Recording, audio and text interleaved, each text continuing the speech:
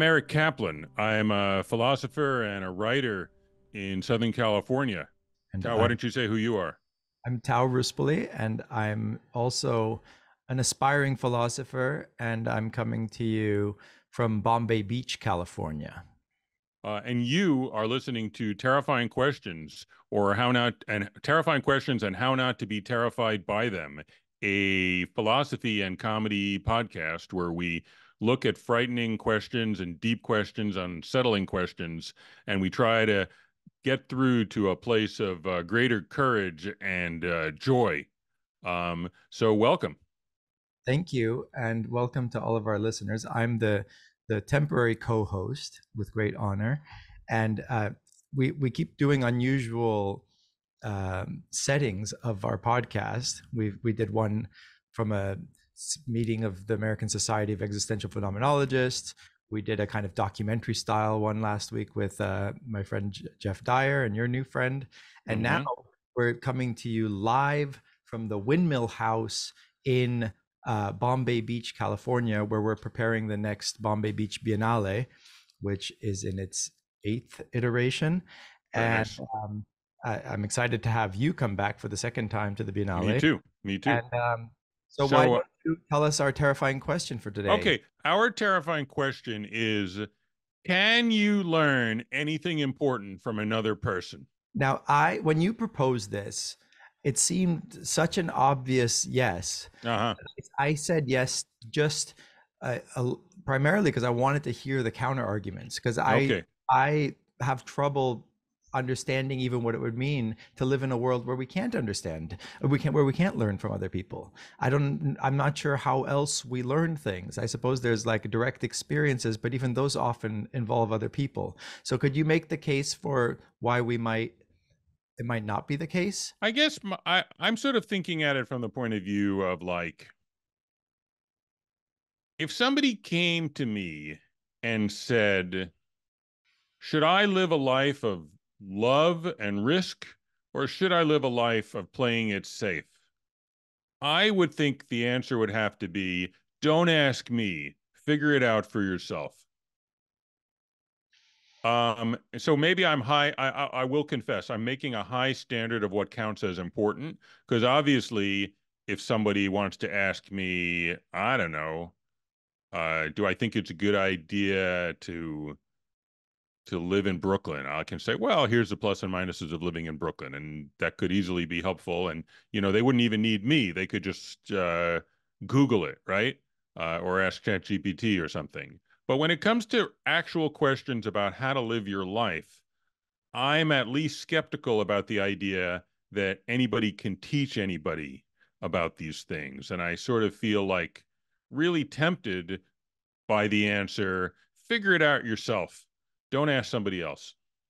Well, I mean, first of all, we're all living lives that would be impossible if we hadn't learned as a culture and as a civilization from each other, right? I mean, we're all every everything that I can see in this moment comes from uh, things that not only I've learned from other people, but each uh, generation and each person has depended on knowledge based on generations before in order to uh, develop all the technology. Right. That's not what I'm interested in. I'm not interested in how do you make a crystal radio. Obviously, we can learn that and we should. Although, interestingly, we don't need to learn that from a person. We could learn that from a database. Um, what I'm worried about or or proposing that we talk about is can you learn anything in the like how to live your life department from another person? Right. Or do you need to enroll and get a diploma from the School of Hard Knocks instead? I mean, I guess we have to also make some distinctions, as it always Sure, in sure. between like explicit knowledge and embodied knowledge. I would, for lack of a better word, um, because obviously we learn. And I'm thinking of like the way I learn from my partner um, a different way to live that I would not imagine knowing about if it weren't for this existence that we share together, for example. So What'd you learn? I mean, it's it's an it's again, it's hard to make explicit because I think there's like a, there's deep knowledge that we don't that is hard to, to put into words, or you put into words, you're already losing something about it. But we can try. I mean, I yeah, would, give it a shot. Um, I, I think it would be like uh, learning ways to arrange the day and uh, approach the, the the the the combination of work and creativity and um, intimacy and uh, you know the the way you arrange your life with another person. You don't arrange your life. You're you've been married many years. You have children. Mm-hmm. Mm-hmm. I don't think you your life is is is arranged in a very substantive substantive ways according to this relationship that you share with somebody. Would you not say? Right. I guess um does that count as learning? Well, that's the question, right? Because um like uh like like let's say we're doing something together, right? Where we're carrying like that story in Aesop of the father and the son who are carrying a donkey.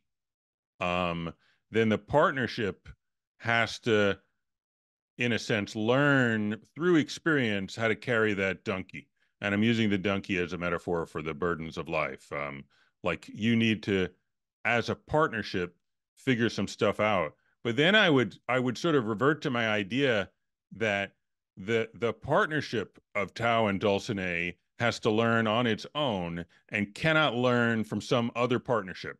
Like you cannot go to like eric and Raduca and say how do we do it? And we'll say you got to do this. Like i don't think that works. So so i'm i'm digging in i'm protecting my position but i'm digging in but now saying that amongst the things that can learn things are collectives not just people good i like that so then i thought that but i'm so, glad you're pushing me because i think this is interesting i do too so I, I thought i was thinking before the before the podcast that there would be three examples of how mm-hmm. we learn from each other one would be um, from our parents as we're growing up. Uh-huh, that's interesting. That also yeah. includes uh, learning how not to do things, probably sure. often. And then there's, um, but we we look to these people who are, you know, uh, probably we look up to them hopefully for for for many years, and and then we have teachers which even it's in the name teaching right and and i've i've had great relationships that that have shaped me, and I want to go deeper into that because we shared uh, uh, uh, the same teacher. Mm-hmm. A big, a big, influence on both of our lives. So I think um, you have teachers and professors, um, and then and then we have partners. So I thought, and then I'm sure you learn from your children too. But I don't have children yet, so I, I can't speak to that, but I can imagine that that that would be the fourth big important type. Are of- you thinking you might? Is it something you'd like to do? Um, I think uh, I'm not closed to the idea, nor uh-huh. am I seeking it in the immediate future. So right, right. It's, it's I'm agnostic, mm-hmm. but that's a whole other episode. Oh, so, terrifying so, question! Should Tao have children? it is terrifying for other people. For the children, probably the most. um,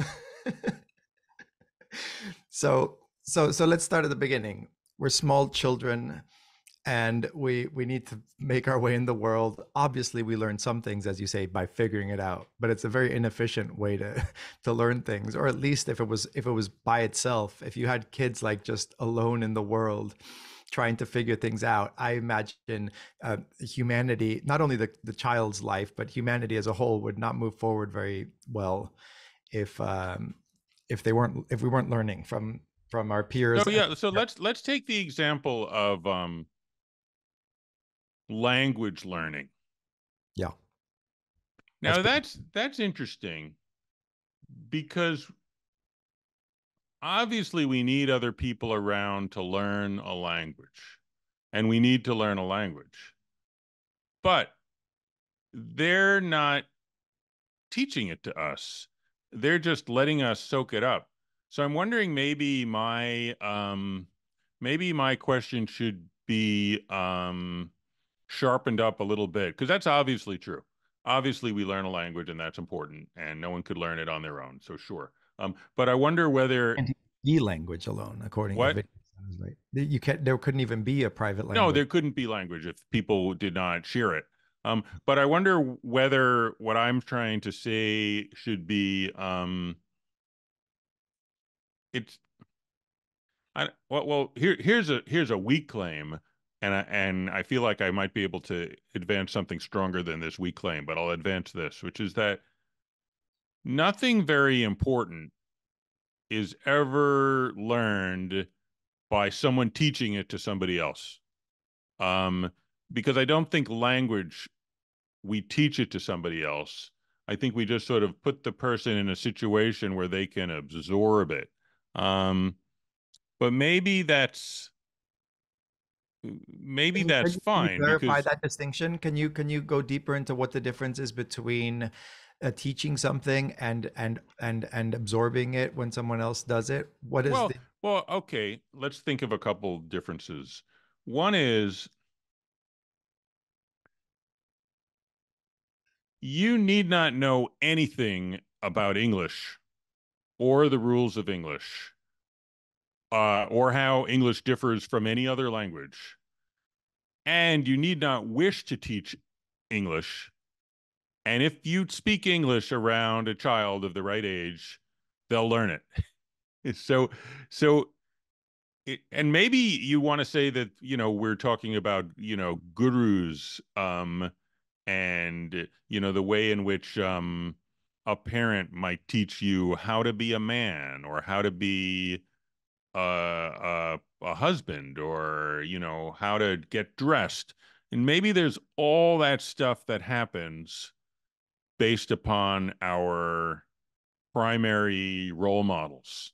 And then um, if we run into um, other people in this world who we admire we can model our behavior on them too. And and i do think that happens. Um but I guess I, I'm sympathetic to the idea that um, the real name of the game is your decision to pick these people rather than their decision to show anything to you. Maybe, maybe I'm wrong. Maybe I should just abandon this whole idea. Um, but you know what I mean? Yeah, I mean, I like the idea of of of, of winning the terrifying questions debate. Yeah, yeah, and then you could advance to the round, and and then I don't think you should give up so easily. I shouldn't, because I was thinking you could then go on, like I could leave, and then you could fight someone else next week, um, possibly Robert Pippin, who was here at the Bombay Beach. I game. know, I know. I'm sorry I missed him, but that that that year I needed to put in the begonias. but um, so I want I want to get into specifics um, because I have a great gratitude for a specific teacher Mm-hmm. who I think taught me not only philosophy and made me uh, decide to study philosophy. I was going to be an architect, hmm and at Berkeley, it was so fun that you got to choose. Yeah. Unlike high school, you get to choose the courses you take, and I always Mm-hmm. loved philosophy, so I read philosophy books on my own time. But I didn't think you could actually be a philosopher unless you're going to be a professor. So, and I know I didn't want to be a professor. hmm so I I didn't even consider philosophy as a pursuit. And then, but I, I realized you could take you could take a class just for fun. hmm And I see in the course book, I'm a freshman at UC Berkeley, and there's a, a class called Existentialism in Literature and Film. And I was like, ooh, that looks great. So I signed up for it, and I show up in this in this room, and it's the, one of the most popular courses at Berkeley worldwide because it was one of the first uh, courses that was uh, podcast out in the 90s already. Uh, Bert Dreyfus, the professor, was was uh, it, he was profiled on on the news because truck drivers were listening to his lectures from Berkeley, and this was very new at the time. And he was, by all accounts, a great teacher hmm and saw his art form and his craft as more teaching than it was philosophy even and his favorite philosopher that he thought most about was heidegger and heidegger said that if you want to teach you have to teach by example and the example the teacher has to give is one who learns Uh-huh.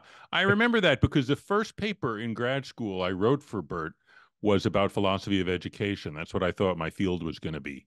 mm-hmm. and we found this thing uh, where he says a teacher is because Heidegger always likes to switch around the concept of activity, is that a teacher is someone who lets learn.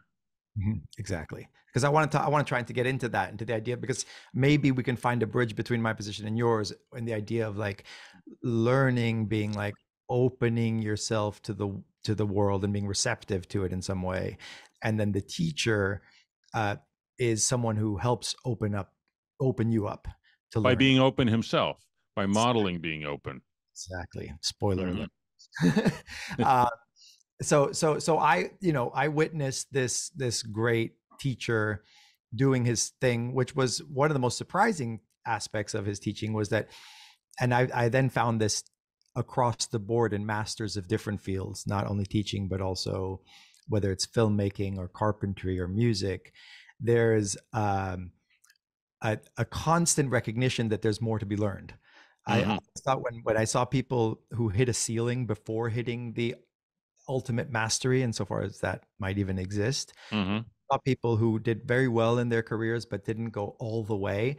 I noticed they always were the ones who thought they knew everything, and the people who I most admired, who had you know, who seemed to be great learners and therefore great teachers also and this is also when i when i like had apprenticeships with filmmakers later on there was this constant uh, willingness to admit that you could still had a lot to learn and mm-hmm. you're never going to stop learning. So Bert uh, Dreyfus would do this in front of the class. Every time someone asked a question, you would think after 25 years of teaching the same course, you would easily say, "Of course, I know the answer to that. You're just a little lowly freshman uh, kid. Um, I, I don't learn, I teach you. And so, but there was never that attitude. There was always this sense like, oh my God, that's a really interesting question. Let me think about it. Let me. Uh, yeah. And that was so inspiring to watch. And and it was like philosophy happening before your eyes. You're watching this great philosopher learn in front of you. And then it put you, it like in this disposition disposedness towards learning and this kind of openness. And I think that in addition to all the content of what I might have learned in philosophy from this great teacher, it was this kind of openness to learning constantly that I think counts as one of your something important to learn from someone. Sure. So now now I'm curious about something which is um like there's two different kinds of people who don't know anything. there's the kind of person like Bert who didn't know anything, but he also kind of did know a lot. And then there's a kind of person who literally doesn't know anything. And and like let's say like there's somebody I, I mean this actually exists. There's somebody who's actually a professor in the music department and now they've been forced to teach an intro to philosophy and you come in and you say, Why are we studying philosophy? And they say, I don't know. And then they say, You say, Well, who are the great philosophers? And they say, I don't know. Um, eh, eh, like that's a bad kind of not knowing. But then Bert had a good kind of not knowing. What's the difference? Yeah, I think obviously there is a huge chasm of difference there. Sure. And, one, would, uh, one would hope. so I think that so so someone who's been learning and been open to the world for for decades and he had a whole skill model. So it's a really we're, we're on, operating on many levels here because, yeah we are at uh, least. there's so so he was very interested in how we learn and master skills. And then i he was. I i picked up this interest and made a film about it um which was exploring how skillful mastery it leads to also a more meaningful existence. So where the stakes are high too. Yeah, because the idea is that if you if if we if we do if we don't know anything and we don't master skills, life could be much emptier than it is mm-hmm. develop deep skills, right? So then the question is, how do we learn these skills? And we could even bring in the same question because there's a sense in which the master does not know any rules. And there's a sense in which the Zen mind is the beginner's mind. But then there's, and then I'll just pose the same question, which is what's the difference between how the master doesn't know any rules and how the ignoramus doesn't know any rules? Why isn't every beginner's mind a Zen mind? Yeah, if every Zen mind is a beginner's mind.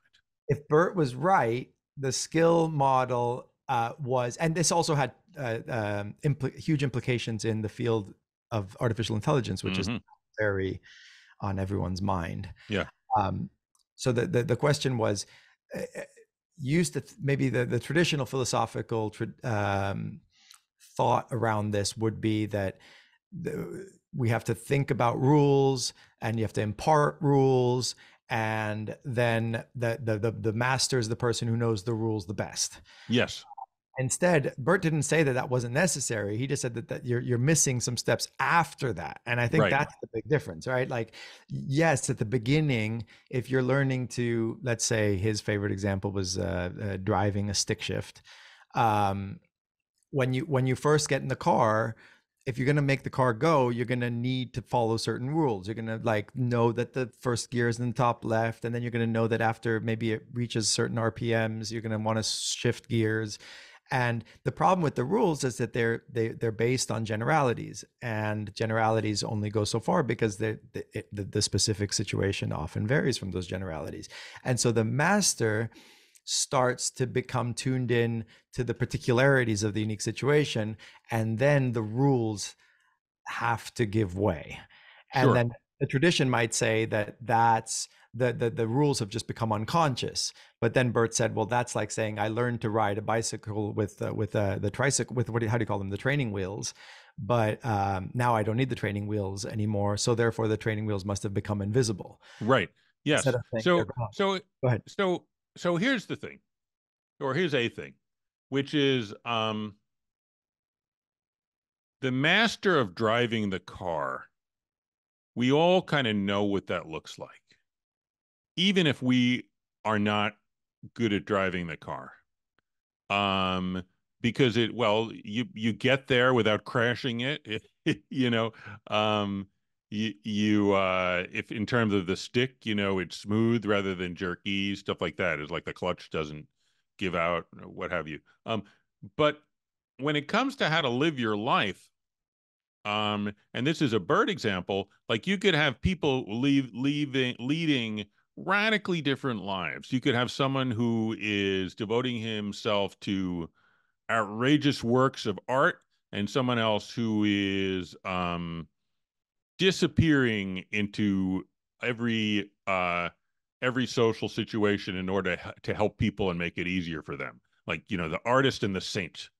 And they're both on bert's model masters of being human. Um but it strikes me as weird that um I don't know why it strikes me as weird. I guess it strikes me as weird. Like, like one thing I want to say is which one you choose to follow is not something you can learn from either of them. So that makes me wonder who you could learn it from and how you could learn it. So I sort of feel like you have to either learn it from yourself or or from uh, the mysterious universe itself. Uh, I don't know, but I don't feel like how another human could teach you that. But or could another human teach you that? one of the one of the uh, prerequisites of becoming a master is a, a commitment to that mm-hmm. thing that you're trying to master right because if you are constantly improvising and today i want to be a carpenter and tomorrow i want to be a philosopher and the next day i want to be a musician you might never reach that mastery could you become a master dilettante That's, can you be a master at at being a jack of all trades do you think maybe I, I, I don't. Yeah, maybe. But I, I think where I was going with this is that uh-huh. I think that uh, you can learn by example by seeing what it's taken other masters to uh, get to where they are. So if you want to be a great philosopher, you might look at the trajectory of Bert's career. If you want to be a great, you know, jazz pianist, you might look at the great jazz pianists who have come before you, and you'll learn from them that you know being great isn't just going on stage and being great but it involves all sorts of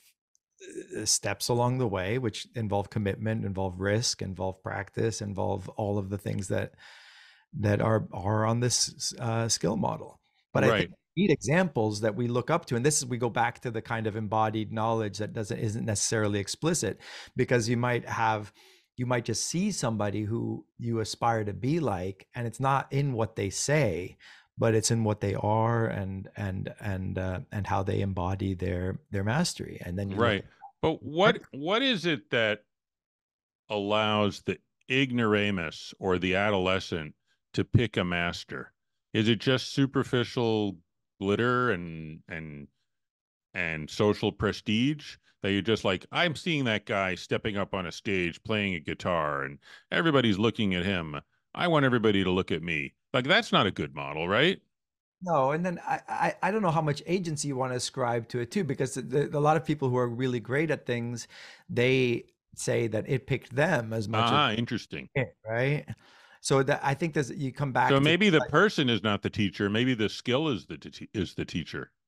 Yeah the the world in heidegger's uh, language you have domains or you have worlds not as in the earth but you have the world of jazz you have the world of, of philosophy so and the world of philosophy just picked you and used bert as like a tool for shaping you. Is that is that the picture?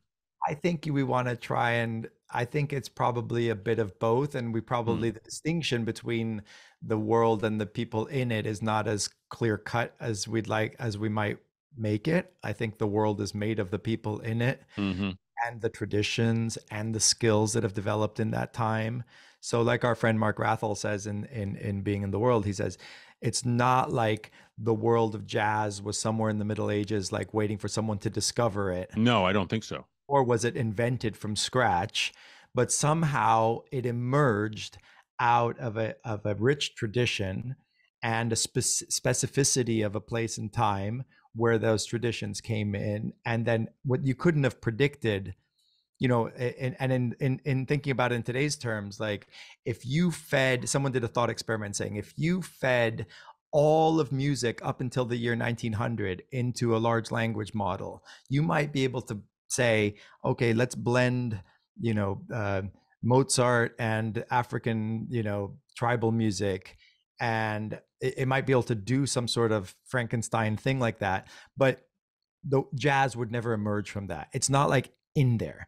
It's like it emerges from it. There's like a, a kind of clearing in this language again like that that that a world can kind of whoosh up and I, it's made up of the people in it and it's made up of the of the of the tradition and of this kind of practices of a of a right. culture.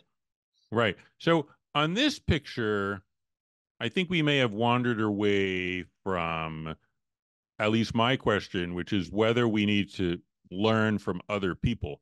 Because it sounds on this tradition on this view that the world is whooshing into existence and if you're lucky enough to be sucked up into that you'll do something interesting with your life and if you're not you won't so but I want to say like the people in it are really important. So I don't think the world of the world of the blues is more than just the individuals who played, but each of those great blues players contributed in really meaningful ways. And I think that if you got to be, if you were lucky enough to be around one of these greats, you would learn something important from these people that, and your life would be markedly different than it wa- would be if you hadn't met Well, sure, sure, sure. So I guess maybe here's a way of asking this question, which is um, I'm not going to ask this yet. I'm going to ask something else. What I'm going to ask is um, Does the following model seem right? That Bert Dreyfus has been kicked around by philosophy and he's he's gotten in his bones what seems like an interesting question that's going to give him some juice and it's going to help him and also what seems like a boring question and what seems like a worthwhile problem that's worth putting time into and what kind of problem seems like a waste of time. And he's got the kind of um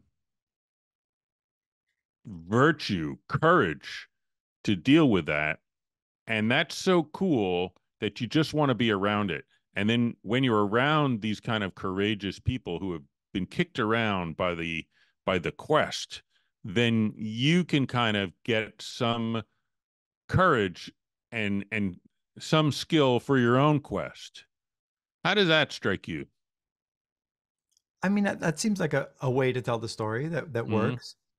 Um, I think it might be useful to also give a little kind of historical context on why because obviously there's the, there's the, the the side of the story which is that he had an influence on us as a teacher. Yeah but he then, did. then there's there's the historical context that he was interested in and, and which is very relevant today which is not only how people learn things but is it possible for a computer to learn something? And where is our human being different from the way that a computer is right well and i'll so say he- one thing about your example about putting all of music at the age at the year 1900 into a computer is Mm-hmm. i don't even know what that means.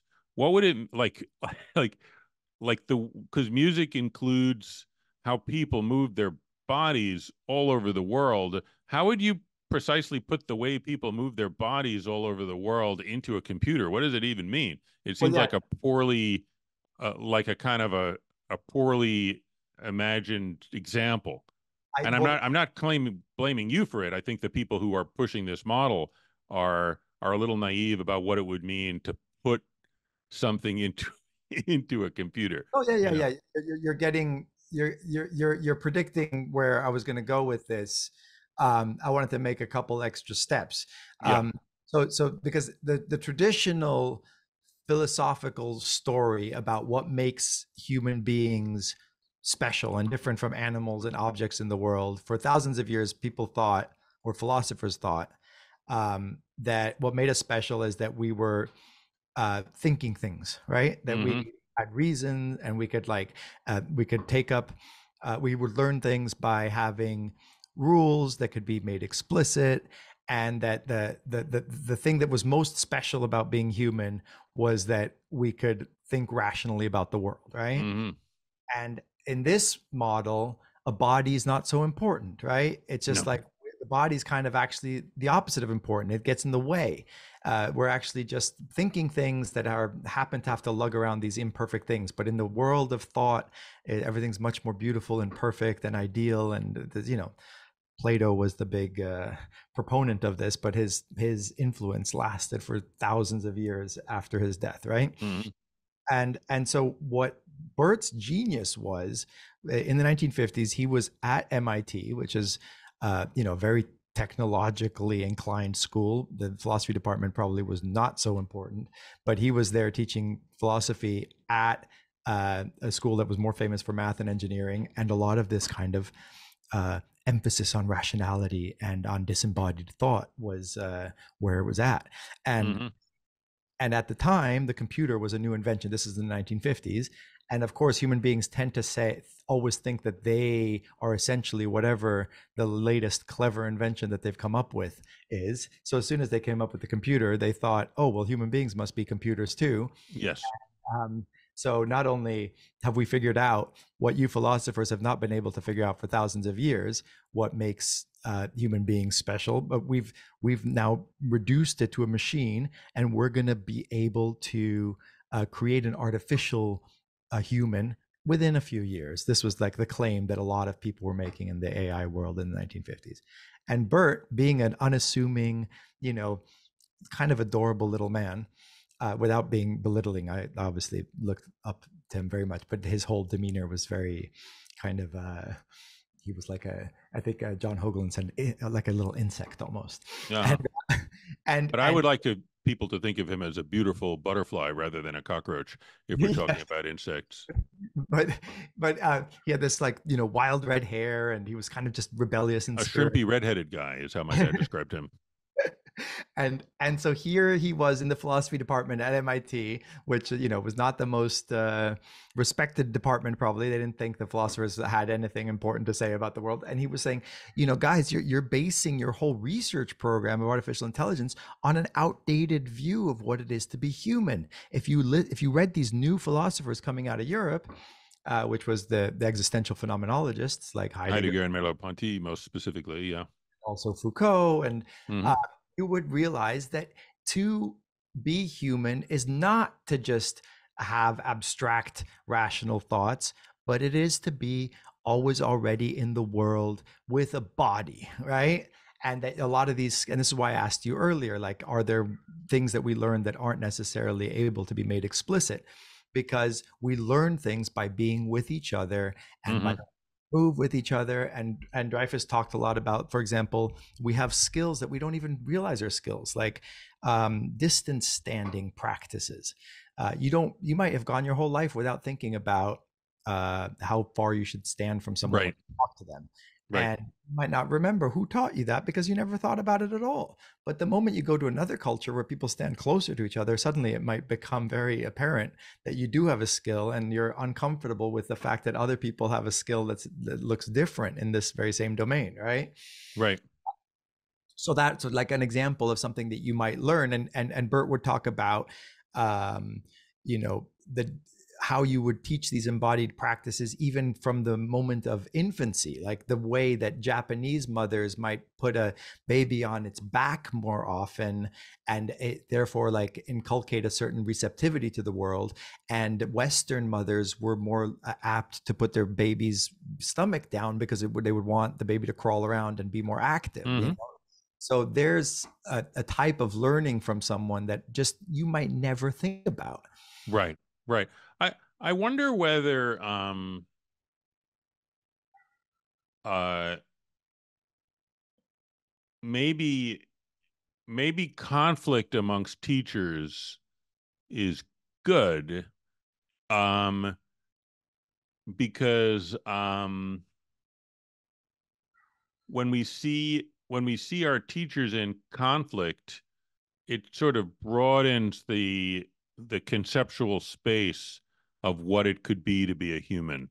Like i think it's interesting that um like the uh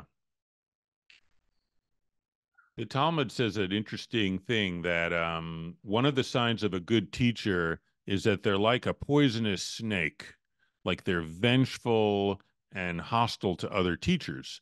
And it's always like kind of struck with me because i'm like no wouldn't the best teacher be um like kind and gentle but but it's almost like you're learning this ability in the individual teacher to fight for a position and that teaches you that the positions are important even if you yourself don't end up agreeing with them. I, I just think about how in the history of philosophy like there are these sort of it often comes down to us in these sort of dueling pairs you know that we have kierkegaard fighting with hegel we have plato fighting with aristotle. In the middle ages we have the the scotus fighting with aquinas there's the nominalists versus the realists. And maybe um maybe that's good or maybe that's a profound thing about how to receive um how to let learn is to is to realize that there are these warring positions and there are even these warring positions within us. I don't know. Just uh, because i because i guess one of the things i'm sort of trying to like hash out in my own mind is like how can we both accept that learning is is you know very important and there are these heroic figures that we like but also that to simply find the heroic figure and turn into a copy of that heroic figure is a betrayal. It's not actually learning what one should learn. Um i don't know what i'm saying. Tao help me tell me what i'm saying. Well, I think I think this idea of conflict is good because it also harkens back to the idea of never resting on your laurels, like the idea Mhm. that there's always something you're pushing up against. Hmm That was another thing that that that in this philosophy is that the world is something that pushes back in a way that forces you to be receptive to it. right So, for Right. example, if you had a material that was malleable in any infinite of infinite number of ways, and it was just your will exerted on that material, what would emerge would be less interesting than if you were working with like wood or marble that had its own kind of I don't want to ascribe too much agency to the material, but there's like a, a kind of power to the material. so were we were we Bert's material do you think are the students his material as a teacher Yeah, eh, because we are the the ones that would force him to respond to the unique situation. right So the way that you learn most effectively is response to the not to the generality, which is where the rules live, but to the to the unique situation. So when you ask the question to Bert, rather than like file it into the the the category of like dumb student questions that all would have the same answer. He would be responding to the unique question that was brought about in that unique moment. And there was this kind of receptivity to the specificity of the situation. And so i think i was going to ask you of a great master. I was going to ask you how you think people can be better teachers. But but what you just said made me think of a better and more interesting question. So sometimes people say that um, people end up getting the the bad government that they deserve. You know, in other words, they haven't taken responsibility over their society enough to demand a better government, so they're they're lied to by various hucksters, as we see happening in in our country today. Um, I'm wondering whether if we complain about pompous or shallow teachers, that's on us, and whether we are getting the teachers we deserve. And that makes me want to ask the question if you meet someone, what kind of attitude will turn them into the best teacher? Like, how do you get the most juice out of the orange that every teacher is? Um, and it, it also makes me think of another, uh, I, I, think uh, it was some some Buddhist teacher I met. I think it was Luang Por Tian. I, I don't really remember his name, but he was in Thailand. And he said, the person in front of me my teacher the person to the right of me my teacher the person behind me my teacher that the the best student is someone who's able to sort of learn from everybody. And that sounds corny if you choose to make it corny but i think it can also be pretty deep. Um, and i want to kind of explore that with you. Like how do you get people to teach you yeah, and, and you you you studied in the East, right? Because the whole Zen tradition has a whole has a rich practice around learning. Isn't it even like the teacher should beat the the student with a stick sometimes? The mercy stick, yeah, yeah, that's true. Um, there there was this funny thing I I learned not not personally, but from a book from uh, Luang Por Mahabua, where or no, maybe it was his teacher. His teacher was Ajahn um, Mun Ajahn Mun said this to Mahabua, which is they don't want to answer stupid questions. They want to ignore questions that they think you could figure out on your own. So they're very selective about what questions to answer, um, which I thought was pretty cool because it was just so counterintuitive. Because I would have thought you want to answer all the questions, and Bert certainly thought that way.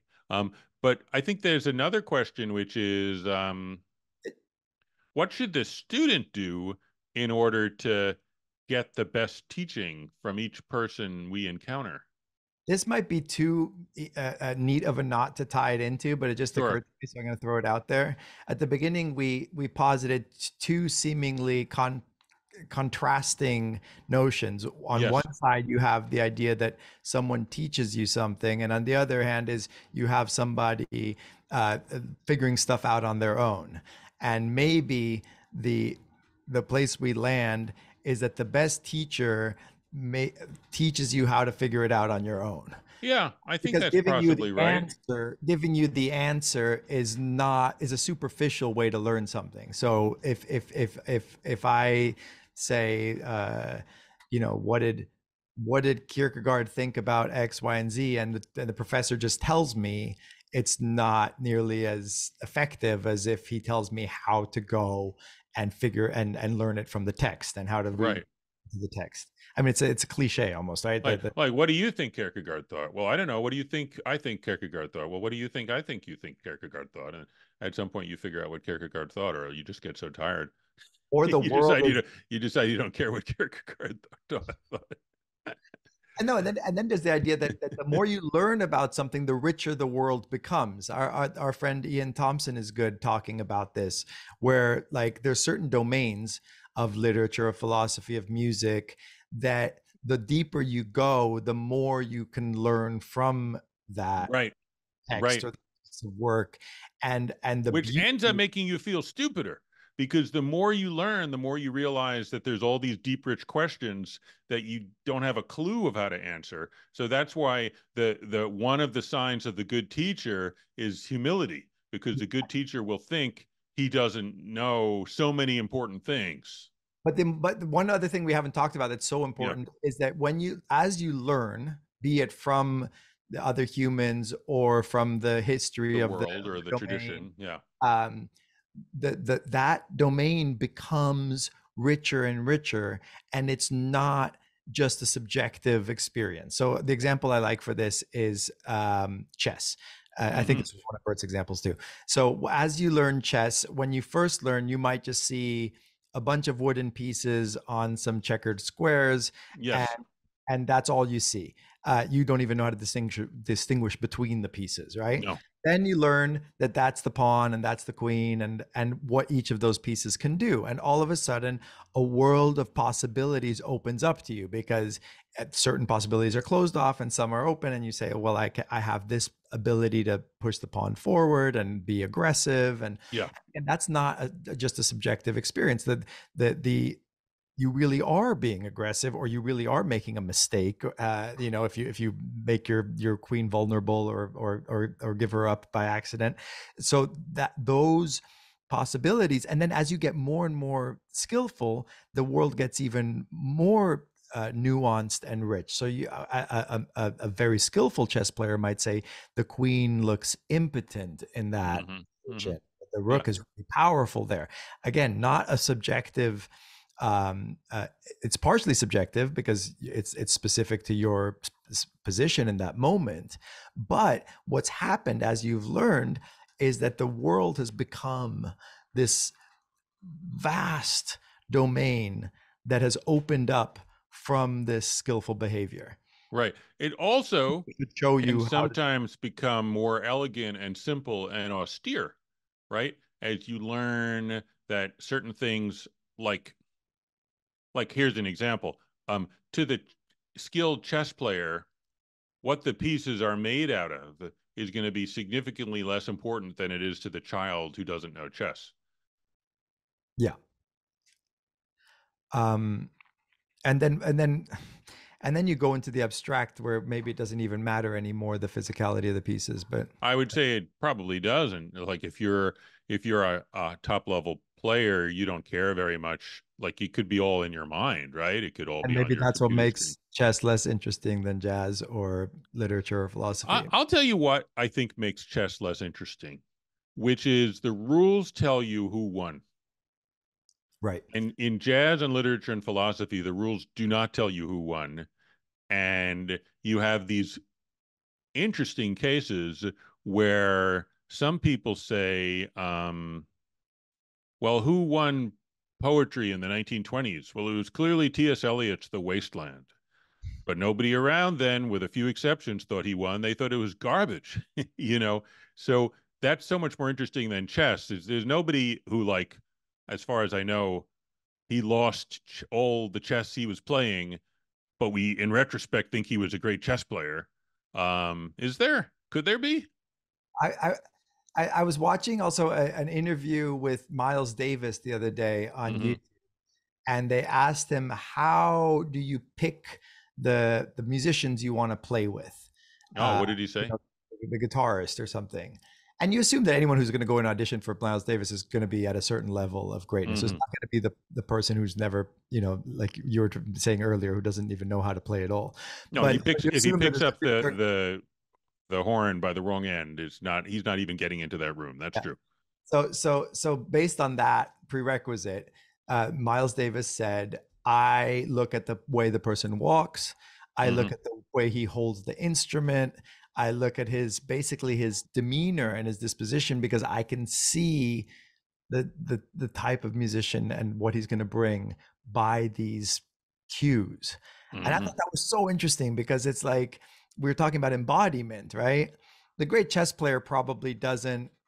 It doesn't matter how he moves the pieces, right? Like I don't think it does. it's not. It's not a, a rich enough world in these sixty-four squares. It's quite a rich world. It's amazing. It shows how worlds. Although his level of exhaustion, you know, there is a physical element to high level chess, which people Yeah. don't think about. But anyway, I- I don't think point it's. is well taken. I don't think it's not a, a- a domain that's where mastery and skillfulness and teaching and all this stuff can occur. But it's kind of a. It's a. It's a liminal. It's a. It's a, it's a marginal world. a low level case, a low level case. a low sure. level case and it's right you know I, I think that on on one side of that you might have places where you can't have meaningful uh, uh, this world disclosing meaning, rich meaning. Oh, have you ever been surprised by something that you thought was a low level case, but then turned out to be more world disclosing than you gave it credit? Like what? What do you have? What do you have in mind? I felt I feel kind of like I used to look down on um on hair cutting. Like I thought that the the the domain of of hair arrangement was was pretty boring stuff. But now I don't think that anymore. Now I think it could be pretty. It, you could disclose a world by your interaction with people's hair and how they present themselves with their hair and what kind of person they're going to be. The world of the barbershop and how people like show up there and it focuses people's yeah. Yeah. I have in mind more when I think of an impoverished world where nothing can happen is more like video games, uh, simple board games like you know tic tac toe. I don't think you're going to disclose a world. I don't think you could disclose a world through flipping coins. I think that's true because they can only come up really two ways, right. basically. And and then that's the problem with these computer worlds, right? It's like too um, rule defined and and and limited in this in this inexhaustibility that exists in these other wor- worlds. So when you go into the haircutting world, it also spills out into there's there's probably the culture of the of of the hair you know the school that they might yeah how you do. talk to the person when you're cutting their hair yeah. exactly and then there's the, the kind of it's it's a rich domain that doesn't it's it's not easily defined right? It'd be pretty interesting like if people started to come to me and they said we met this really cool guy. And i'm like what's so cool about him? He's got this new method of flipping coins. And and we're just going to go off and just spend years hanging around this guy flipping coins. I think that'd be such an interesting conversation to have because i wouldn't want to say you're wrong but i would want to say you're wrong but maybe i'm the one who's wrong. Maybe he is flipping coins in some way that has never occurred to me before. And there's also there's like these these there's domains where we just take it for granted that we're pretty good at that we're That's true. like walking That's true. right? So like yeah. like why don't why aren't we all in this amazing state of world disclosure when we're doing this thing so masterfully which is just walking around? What is it that's so much more um exhilarating about watching a great musician than a great walker. Hmm.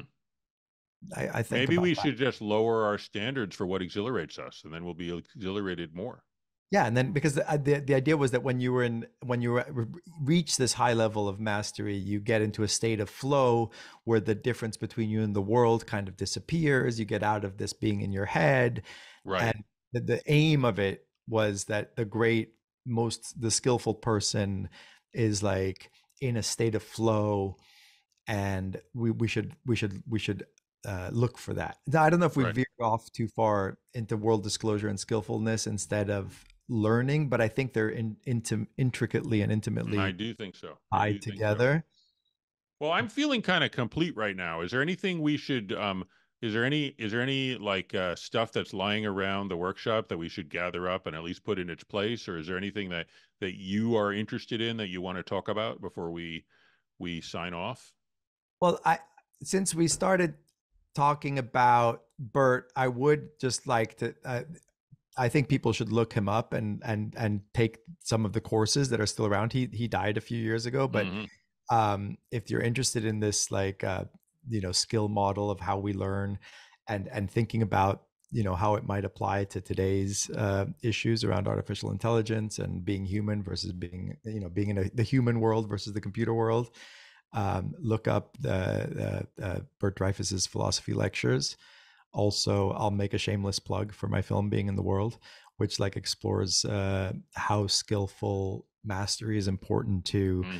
uh, a meaningful existence and how technology threatens that. Because what we haven't gotten into at all is how um, technology takes away the need to learn skills. So for example if you compare uh, learning a musical instrument in the old days uh, if you wanted to hear music, you'd have to pick up an instrument and and do the work to learn from the instrument, from your teacher, from yourself, and your own, you know, the way you can get your personality through the instrument.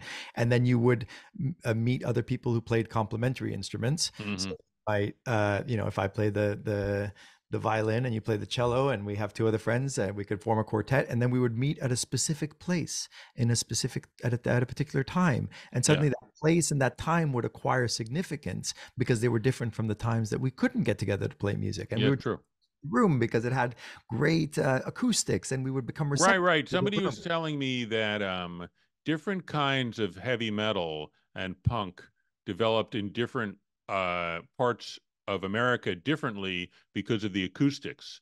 And the way you would need to play heavy metal out in the desert where you are is different than the way you'd play it in Brooklyn, where there's tall buildings everywhere. Absolutely. And and and and so those places and times and people would be individuated and therefore become meaningful. And if you compare that to the phone where you can just put on it doesn't matter who you are, it doesn't matter where you are, it doesn't matter what time it is. Uh, you can listen to anything.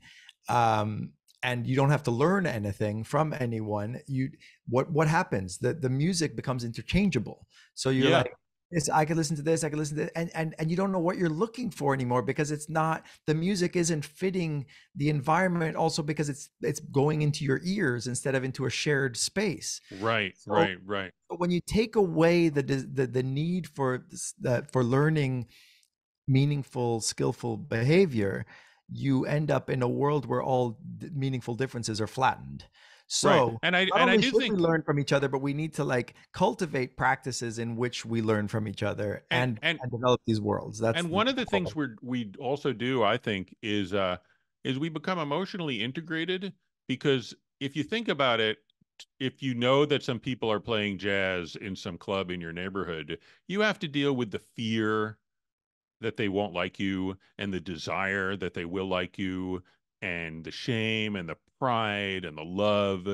And i think if when you feel those feelings uh, on sort of not dampered like fully you you learn a lot and and you become more than if you imagine you're just sort of getting some facts. Um and, and i'll put in a plug for um the sort of uh, love hate relationship you can have with individual books, um, which I think you don't get from a Google search. And that includes this book, there's something wicked about this book, but I'm really attracted to it. Or this book is boring, but I really need to learn it. Or this book seems enjoyable, but the more I spend time reading it, the more I feel it's a waste of time. That I think uh, uh, like you can relate, or at least in the old days. In the old days, when people read books instead of just searching on on the computer, um, you you would have a relationship almost like to people, like they were like, um, I guess they were a little bit like um, the fetishized skulls of the ancestors. That if you cradled them to your naked flesh, they would whisper to you. Um, and that's what a book is. And I think a Google search is different. Now, maybe maybe there'll be new um, ways to have insane, equally insane relationships to Google searches as I had to books, but but I'm looking forward to it. One thing we keep like hinting at, but we haven't said explicitly, no. is community. Community. Um, I thought I, you were going to say learned, eroticism. I thought you were ah. going to say the way that you're sort of in love with the teacher. No, I was thinking just in terms of how these practices gather community and we learn mm-hmm. in community. And yeah think that the, that the technological age, uh, uh, it, it it's and they become elective families. It becomes, it becomes it becomes isolating. And do, so, do you think your teachers are sort of an elective family, like your co? Like I feel like you, me, Mark, Iain, we're like brothers, mm-hmm. and Bert is like a chosen um, father. You know, and that and that makes it kind of juicy in a way that I like yeah and i think i think you have to be humble and you have to like it, it's it i think that the, the the the the thought that keeps coming back to me is that we need to be receptive in order to be able to be taught it, yeah. there's, a, there's a way of closing yourself off to the world and there's a way to open yourself up to others and that's where the the the the, the, the space opens up for yeah. us to from each other and that's a beautiful thing and but you allow it to happen it's possible to be in a world where we don't learn from each other and that's a, a, impoverished existence compared to one where you admit you don't know yeah. someone might know something important and and hopefully then and exist that you have needs admit that you have needs that Yeah. you come out into this world with needs that were not met by your family of origin and in a state of sort of confusion and and uh you know in a tizzy as it were and then you're out there trying to find someone who can resolve that tizzy All right. Well, thank you. Eric. I hope I Thank learned I learned from you every time we have these conversations. and I, learned that- from you. Yeah. So I hope and, that our and, and if the people at home are in an impoverished world, leave that impoverished world and find a better world. I mean, unless you're stuck, but you know, if you if you have the wherewithal to leave your impoverished world, then you should do it.